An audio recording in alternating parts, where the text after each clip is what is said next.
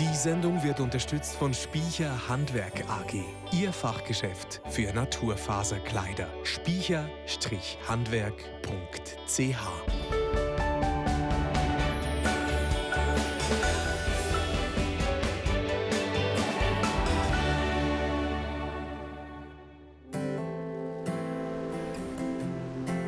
Something in Real Life ist unsere Motivation, die Leute weg vom Computerspielen, vom Handy zu bringen und dieses Real Life kennenzulernen. Ja, draußen was mit Freunden zu unternehmen, aktiv zu werden, kreativ zu werden. Ich finde es einfach immer voll krass, wenn man sich sowas überlegt und am Anfang so einen Gedanken hat, ob das jemals halt funktioniert. Ich finde, ähm, so Zwilling zu sein, eigentlich so die krasseste Beziehung fast, die man haben kann, weil man auch seine ganze Vergangenheit teilt. Es ist im Laufe der Zeit halt immer größer geworden. Wir haben immer mehr Sachen erreicht. Eins der Highlights war das U-Boot aus Badewannen, was wir gebaut hatten. Das ging richtig ab auf YouTube. Und dann natürlich die fliegende Badewanne.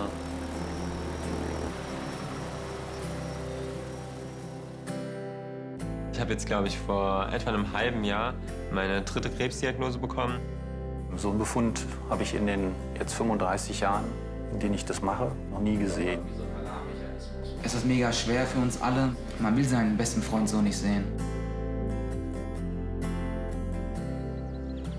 Ich lege das so in äh, Gottes Hände und ich vertraue darauf, dass er mich da durchträgt und dass er mein Arzt ist. Weil eine andere Wahl habe ich ja auch irgendwie auch nicht. Hoffnung hat er auf jeden Fall noch, aber ich glaube Zweifel bestimmt auch.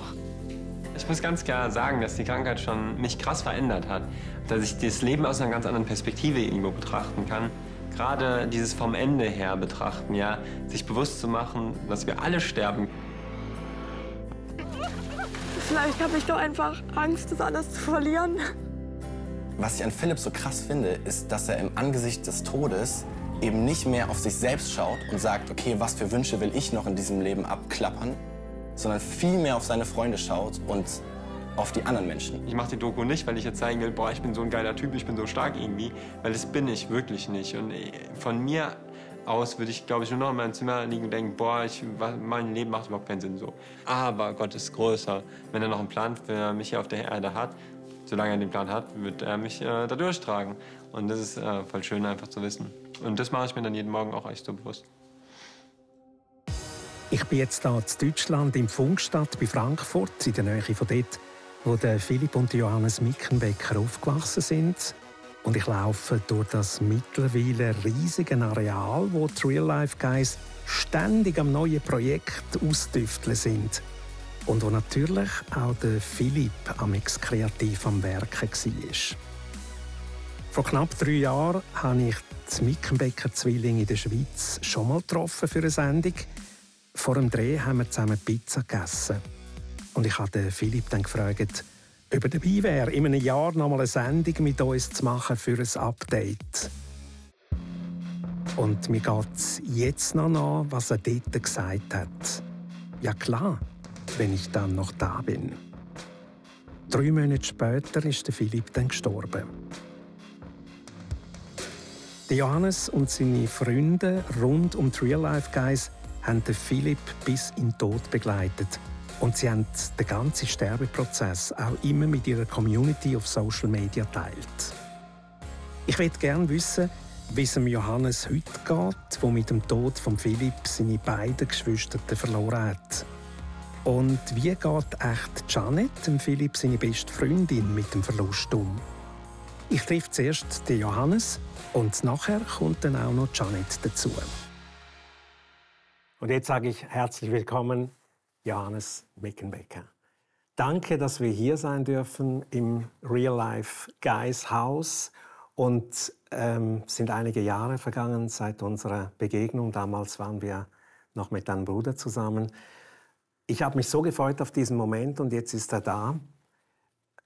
Wenn deine Gedanken zu Philipp gehen, so im Alltag, weiß nicht, wenn das letzte Mal das der Fall war, was verbindest du mit ihm vor allem? Ähm, ich glaube, es ist echt ziemlich oft so, dass ich im Alltag so drüber nachdenke, wie es jetzt wäre, wenn Philipp dabei wäre. Oder dass ich, äh, ich glaube, wenn ich äh, schöne Momente habe, wo ich äh, denke, boah, das wäre jetzt äh, cool, wenn Philipp das einfach auch äh, miterleben würde. Ähm, ich glaube, das, was ich so am meisten vermisse oder was, was mir am meisten fehlt, ist, dass ich mit Philipp jemanden hatte, der irgendwie die gleichen Gedanken hatte so wie ich. Und äh, da ich oft auch sehr, ich weiß nicht, vielleicht ein bisschen verrückte Gedanken habe, äh, fehlt mir das dann, dass nicht jemand da ist, der irgendwie mich da richtig gut versteht oder der, der dann genauso denkt. Ja. Das sind, glaube ich, so die meisten Momente. Warst du manchmal erstaunt, dass er etwas ausgesprochen hast, hat, was dir so durch den Kopf ging? Oder? Ja, es ist echt oft vorgekommen, aber ich war nicht erstaunt drüber. Also es, war, es ist einfach so passiert und es war irgendwie natürlich und ich habe das auch so erwartet. Ja. Der Doc-Film über den Tod deines Bruders Philipp Mickenbecker Real Life lief noch vor kurzem in den Kinos und ähm, da sieht man wirklich Leben und Tod deines Zwillingsbruders Philipp. Er starb am 9. Juni 2021 an Lymphdrüsenkrebs. Ich habe ihn noch kennenlernen dürfen. Ein großes Privileg.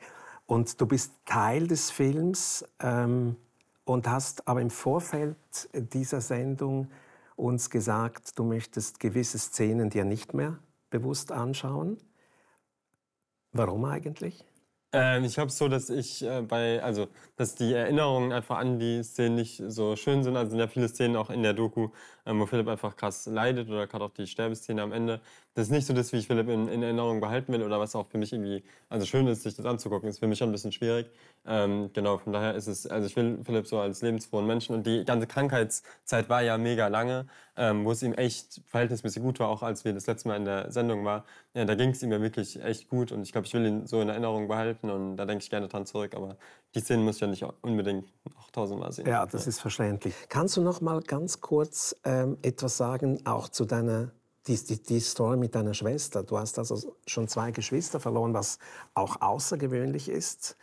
Damals mit diesem Flugzeugabsturz, wie das gelaufen ist? Ähm, das war an sich so, dass wir ein Bekannter von uns ein äh, Flugzeug hatte, ein äh, kleines Unterleichtflugzeug. Also ganz normal und wirklich äh, nichts Besonderes. Und ähm, da hat er so einen kleinen Rundflug gemacht. Erst äh, sind wir alle mitgeflogen und dann wollte Ellie noch mal eine Runde mitfliegen und die sind dann abgestürzt. Äh, man weiß bis heute nicht so ganz genau warum. Ähm, genau, aber es war natürlich schon ein echt ziemlich großer Schock, weil man mit sowas einfach nicht rechnet. Also ich glaube, gerade in dem Alter habe ich mich auch noch nie mit dem Thema Tod so auseinandergesetzt und das war schon wirklich sehr krass. Ja. Dass ihr als Real-Life-Guys weitermacht nach dem Tod von Philipp, das war, glaube ich, immer klar. Also, äh, was ich so mitbekommen habe. Ähm, ist es auch ein, eine Kraftquelle wenn man Projekte haben kann, wenn man für andere da sein kann? Äh, oder ist es auch ein Stück weit Ablenkung, fast ein bisschen Flucht in solchen Situationen? Ähm, also positiv gemeint. Ja, ja, natürlich. ich, ich glaube alles ein bisschen. Ja. Also, ich glaube, also was ich bei Ellie auch ganz krass gemerkt habe, da wusste ich auch überhaupt nicht, wie sollen wir es jetzt machen? Sollen wir jetzt äh, mit YouTube weitermachen oder nicht? Und irgendwie ist es ja auch komisch, dann einfach so weiter irgendwelche lustigen Projekte zu machen. Also es fühlt sich ja irgendwie ein bisschen falsch an. Und trotzdem war es so, dass ich ähm, gemerkt habe, in dem Moment, wo wir, weil es ja auch unser Job war einfach und wir sonst ja auch jetzt nichts gemacht haben, äh, wenn wir dann kein Video gemacht hätten, dann, dann äh, kommt man ja komplett aus seiner Routine raus.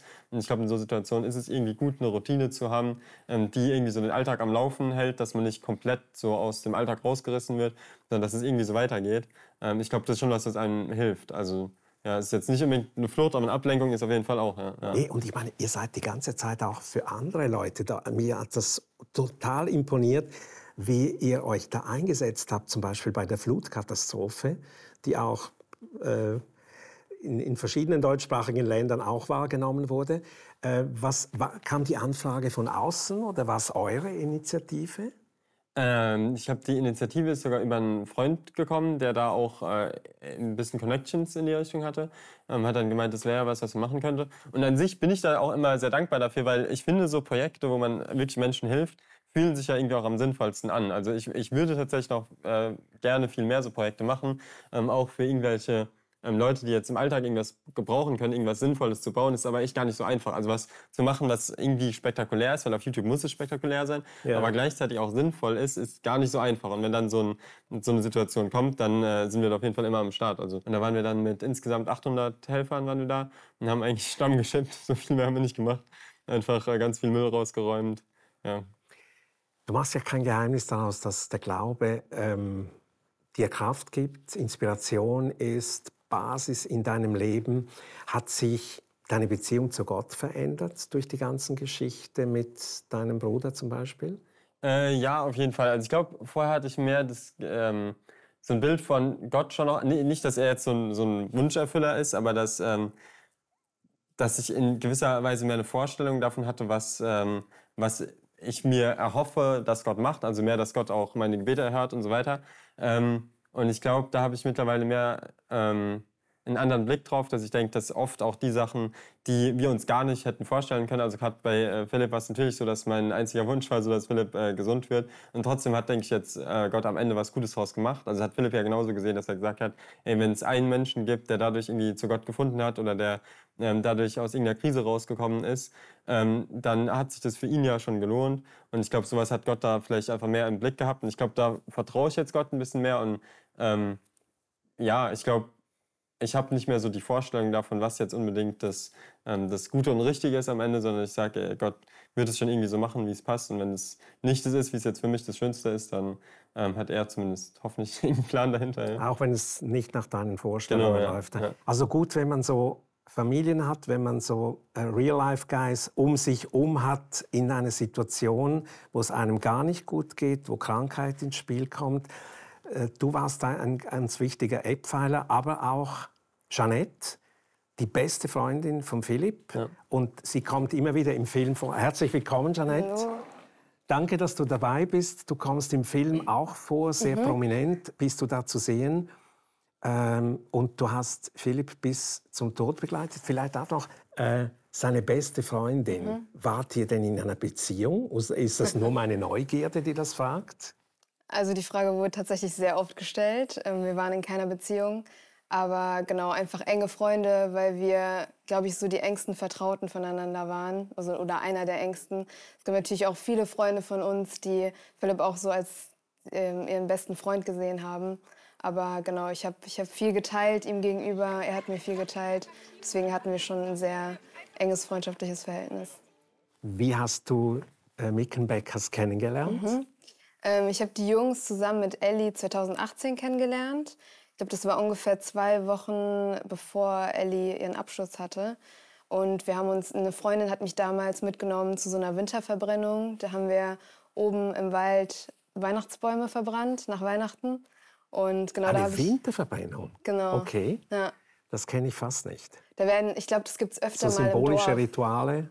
Ich glaube, symbolisch weiß ich gar nicht. Keine Ahnung. Aber ich glaube, glaub, die Jungs ja. fanden es einfach cool, dass ja, okay. Weihnachtsbäume echt gut brennen. Okay, gut. Und dass man die gut aufeinander türmen kann und dann halt irgendwie ein cooles Feuer hat. Mhm. Ähm, genau, und da habe ich, die hab ich die Jungs damals kennengelernt und fand es auch irgendwie cool, dass sie eine große Faszination für verrückte Dinge haben. Und ähm, genau, ich glaube, irgendwann hatte mich Philipp dann mal angeschrieben und meinte so, hey, wir wollen jetzt ein Baumhaus bauen, auch so ein bisschen für Ellie, weil sie sich immer gewünscht hatte, eins zu bauen und dass ich ja mal vorbeikommen kann. Und genau, und ab dem Tag war ich dann eigentlich immer öfter dabei. Und dann auch ähm, die Situationen, die mir wirklich geblieben sind aus dem Film, wo du zum Beispiel äh, Philipp im Spital besuchst. Mhm. Ein ganz starker Auftritt, da habe ich noch ein, zwei Fragen dazu. Aber da wollen wir mal in den Film reinschauen zuerst. Mhm.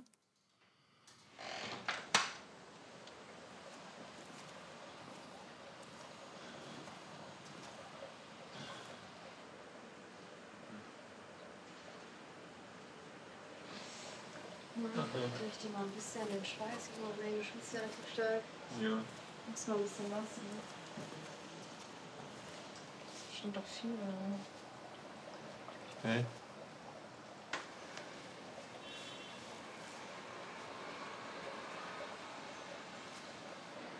So viele Nachrichten bekommen. Ich soll dich auch von so vielen Leuten grüßen. Ich kann dir schon gar nicht sagen, von wem allen.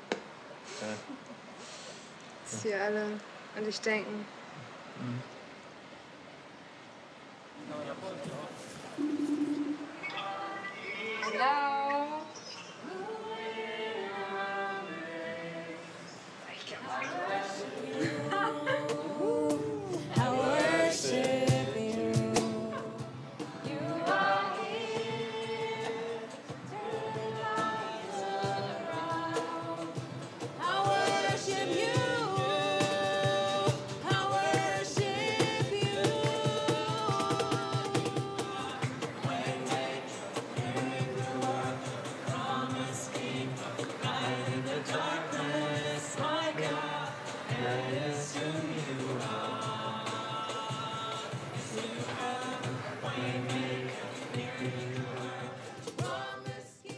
Ganz eindrückliche Bilder und äh, ich habe einige Leute kennengelernt, die Menschen verloren haben. Die hätten sich gewünscht, dass jemand bei ihnen wäre. Ihr habt das so großartig gemacht.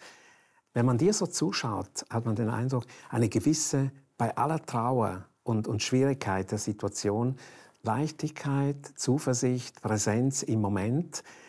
Hast du da besonders Kraft bekommen durch deinen Glauben? Oder bist du einfach so, dass du mit, mit, mit, schwierigen Situationen echt gut umgehen mhm. kannst? Also ich würde sagen, kurz nach dem Tod oder halt auch gerade in der Zeit danach ging es mir schon nicht so gut.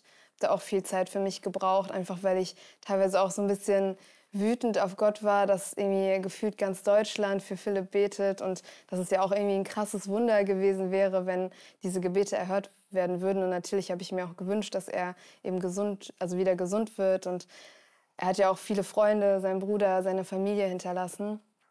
Ähm, aber ich glaube, gerade weil ich viel Zeit auch so mit Gott verbracht habe und irgendwie gemerkt habe, dass ich auch einfach ganz viel Dankbarkeit spüren kann in der Situation, weil ich weiß, so Philipp hat uns sehr, sehr viel mitgegeben. Ich glaube, die ganzen Projekte hier mit den Real Life Guys, die sind auch irgendwie alle sehr präsent bei mir und ähm, er hat ganz, ganz viele Leute, ganz vielen Leuten Hoffnung geschenkt und das macht er auch immer noch. Ich krieg bis heute oder wir kriegen bis heute noch Nachrichten von Leuten, die immer noch die Videos schauen oder gerade irgendwie auf YouTube gekommen sind und irgendwie uns mitgeben, wie viel Hoffnung, wie viel Kraft sie da dadurch bekommen.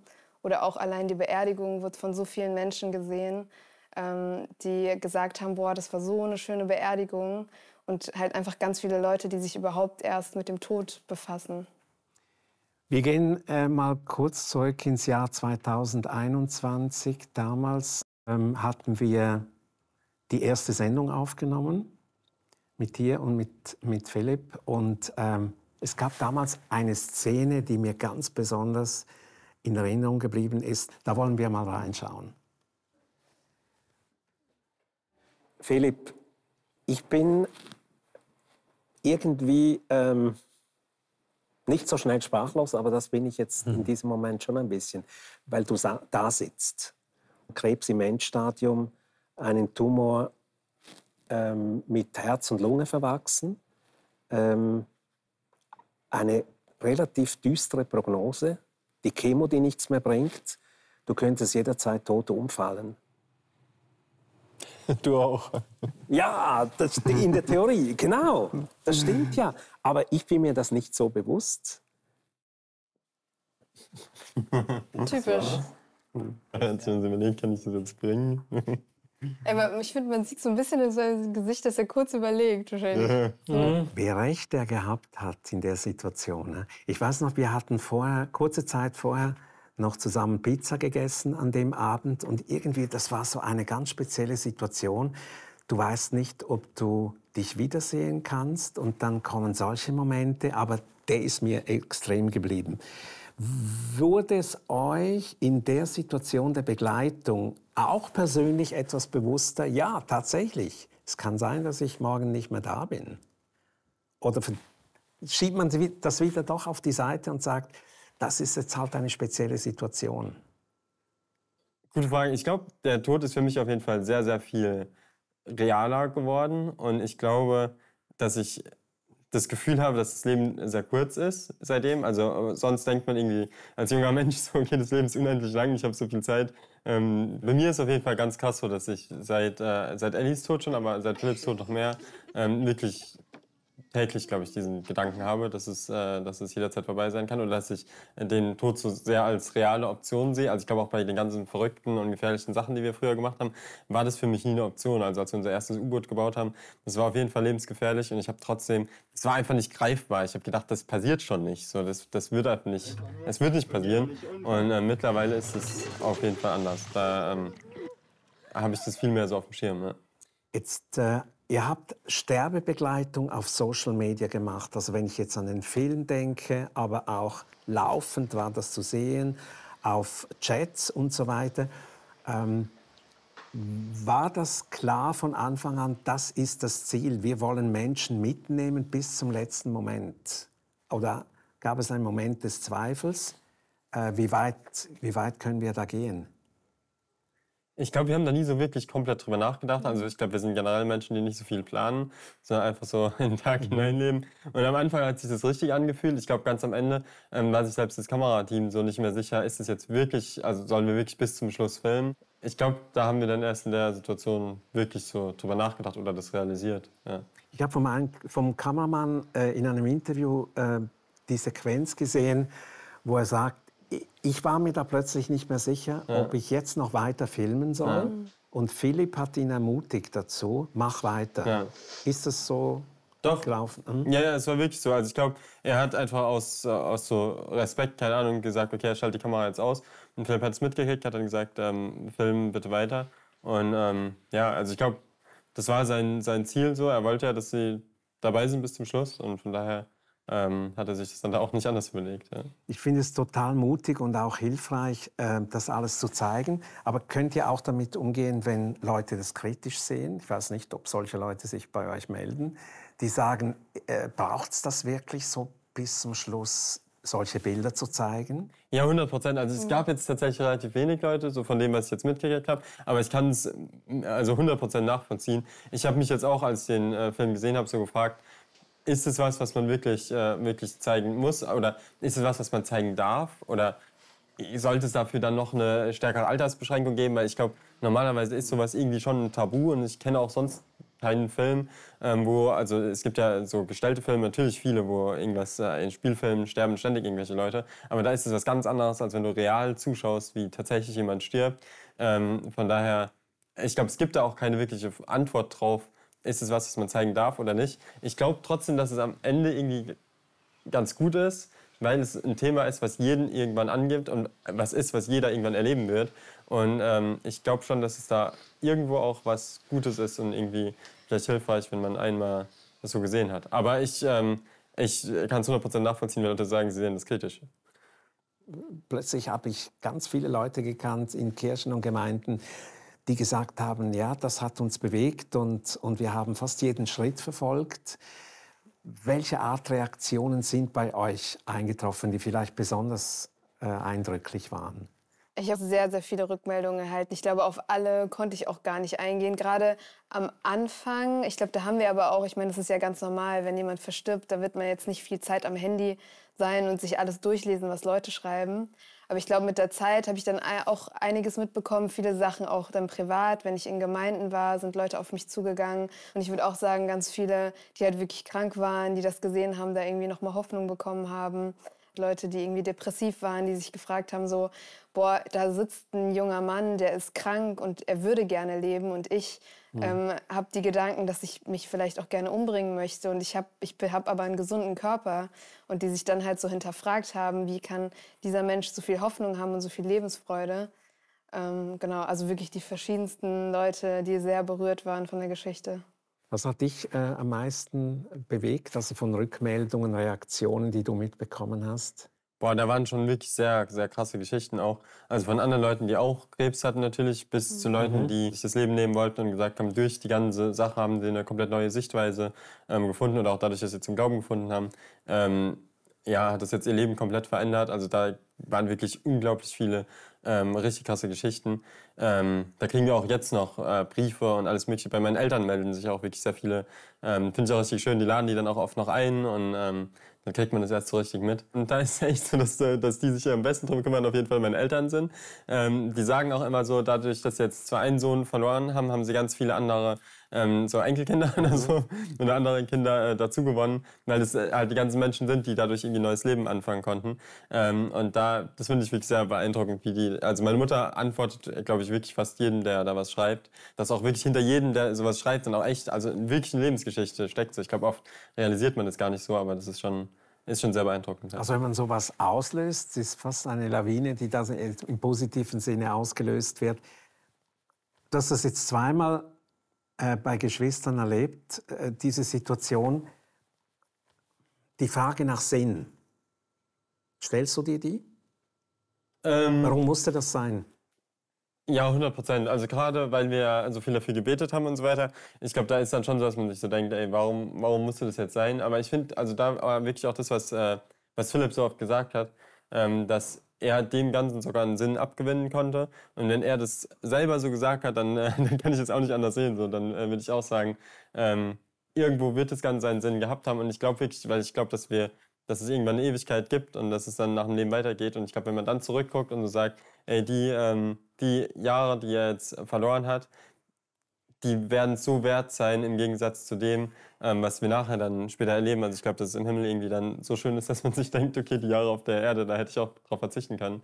Ähm, und trotzdem äh, habe ich oft Momente, wo ich so denke, ey, schon hart unnötig, so hätte nicht sein müssen. Also, ja. Real Life, wirklich Real Life bis zum Ende. Wie stellt ihr euch eigentlich beide das danach vor, wo er jetzt ist? Wo er jetzt ist? Ja.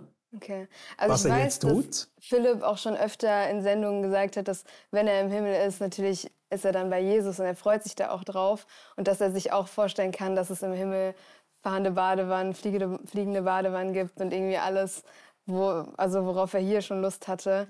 Und er meinte ja auch immer zu uns, er freut sich natürlich, wenn er uns alle dann auch oben wieder sieht. Und ich finde es eine schöne Vorstellung. Ja, ich finde es auch eine schöne Vorstellung. Also ich glaube auch, wenn ich mir überlege, dass Gott ja so die ganze Natur geschaffen hat und ich finde, auf der Welt gibt es eigentlich also für mich nichts Schöneres als so die Natur, dann glaube ich, dass es im Himmel auch jetzt nicht, also dass wir echt nicht auf einer Wolke rumschweben und Halleluja singen, sondern dass da irgendwie auch, dass Gott da irgendwas Schönes auch irgendwie geschaffen hat. Und ich glaube, das Allerschönste wird wirklich sein, dass ähm, dass ich glaube, dass es dort alles Negative nicht mehr gibt. Also egal was, ob es jetzt äh, Schmerzen sind, ob es jede Form von Leid, dass es die da nicht mehr gibt und auch nichts Böses und auch keine schlechten Gedanken und ähm, alles, was einen so belastet im Alltag, dass das alles nicht mehr da sein wird. Ich glaube, das wird das äh, Krasseste, egal wie, ähm, wie krass die Landschaft dann ist.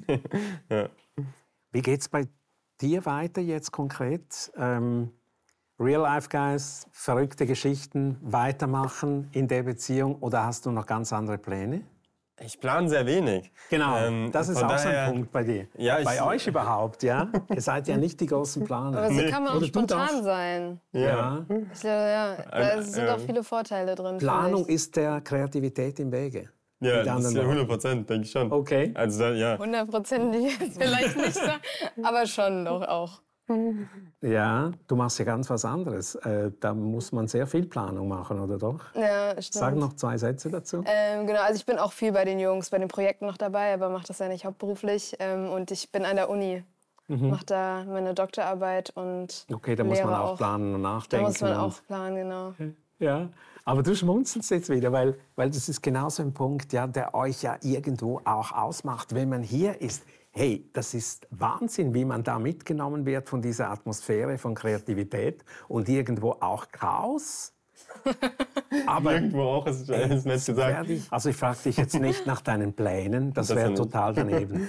Ganz herzlichen Dank für die Zeit und danke auch. danke auch, dass ihr uns mitgenommen habt in eine Riesengeschichte, die noch nicht zu Ende ist. Ja, danke auch. Wenn Sie Fragen haben, wenn Sie Anregungen haben, schreiben Sie uns ERF-Medien Fenster zum Sonntag 8330 in Pfäffiken oder ein E-Mail an tv.erf.ch.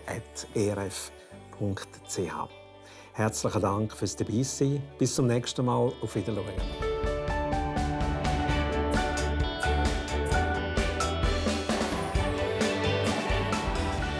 Die Sendung wurde unterstützt von Spiecher Handwerk AG, Ihr Fachgeschäft für Naturbettwaren. Spiecher-Handwerk.ch